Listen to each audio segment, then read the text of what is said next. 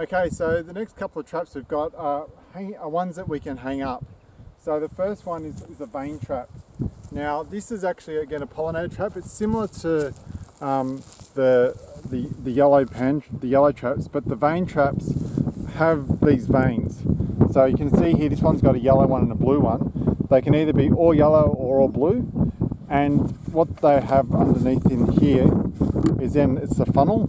So the, the pollinators will hit the vane, fall in, fall through the, the, um, the funnel and then in, into the container. Now this can be used dry or it can be used with a preservative. The ones when they're used dry are really useful if you are actually trying to find um, the pollinators and also the pollen that they're moving. So if you dry traps can you can get the pollinators off the the legs or off the bodies or the hairs of the the pollinators and then actually put the pollen the pollen on a slide. If you collect them wet, again you can put them into ethanol or you can put them into a salt solution um, so that they can be collected and then identified. The insects can be identified further back in the lab.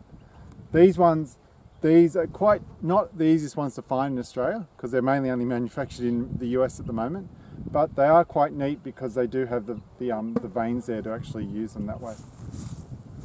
Another method that is used quite often, particularly in also in uh, glass houses to, to try and reduce flying insects are the, the sticky traps.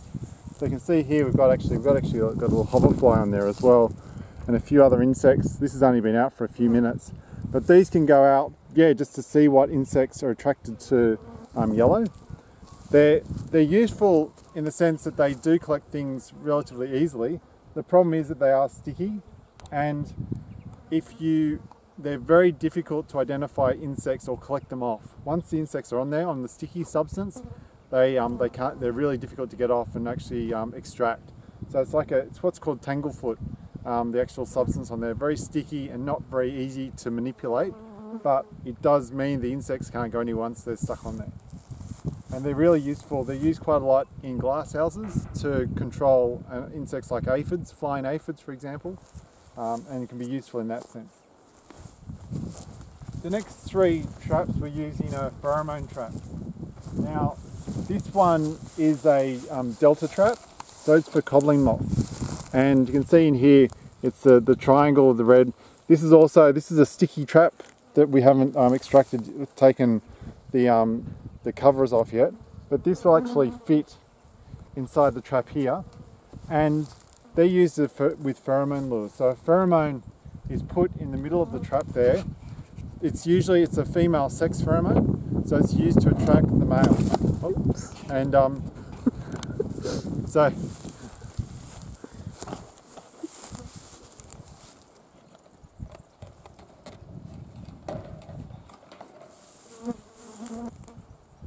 So yeah, the um, the the pheromone actually is uh, a female sex pheromone to attract the males. It it can work for um, up to a few kilometres away because it's very species specific.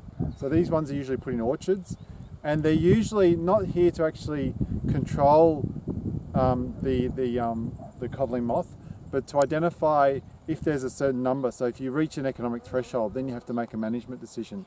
So if you find five or so um, males codling moths in these traps and you have these spread across an orchard and they're all finding multiple numbers, that might be an indication that you need to make management decisions either to spray um, a specific pesticide or even bring in natural enemies to control the, um, the codling moth. Another um, pheromone trap are these ones. These are Agrisense traps. These are made for control or for managing Helicoverpa, particularly um, in in um, uh, cotton crops. These were actually originated from UNE and produced by um, Peter Gregg, who's now an emeritus professor at UNE. Um, they've actually got the, the pheromone lure is actually on a little um, piece of card in there and you can see it's just on the paper clip and you can see that's a, a classic um, yeah, sort of academics um, pheromone trap with the with the, the paper clip there. But in here, so again, it's got the, the, the funnel so the insects go towards the, um, the pheromone, they hit the funnel and they go into it and then they go into the base of the, the trap here. And again, the numbers of insects that are collected then indicates what sort of management um, conditions will be taken. And the final one we've got up here are ones that you're probably a bit more familiar with, particularly if you've got, um, you know, if you've got uh, fruit trees in your backyard. These are fruit fly traps. So this again has a pheromone in here. So it's a specific fruit fly, um, fruit fly pheromone um, to attract males. So the males go through the little holes here, and this also has an insecticide built into it. So the the insects go into the, the chamber and then they're, once they're in there, the concentration gets high, then they, they're actually killed. Then you can come back and monitor these daily to see what the number of male fruit flies are.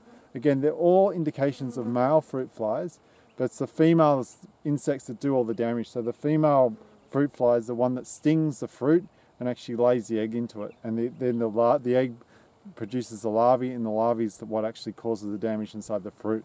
So it's an indication of sample size, but not actually an exact indication if there's actually damage occurring.